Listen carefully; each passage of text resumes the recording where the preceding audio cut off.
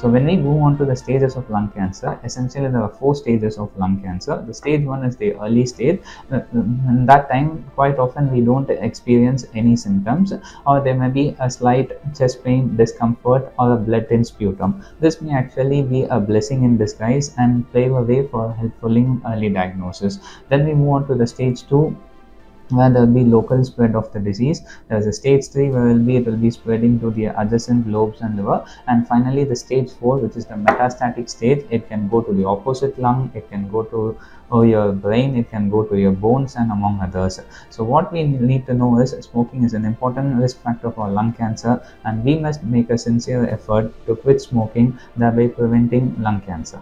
Thank you.